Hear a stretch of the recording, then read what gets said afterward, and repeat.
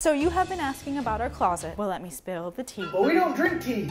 Oh yeah! A long, long time ago, She's making a year and a half sound like we were in the Roman Empire. Rome. we tried to do fashion. Examples here. A potato sack could have dressed better than us. We also only shopped at thrift stores, which made it really hard to find fashionable stuff. I've stained more shirts than a toddler with juice. And then boom shakalaka, pink shirt guy was born. Three months later, Alyssa saw the light, and pink shirt couple was formed.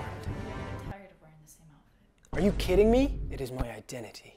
Um, She better not make me pink shirt single,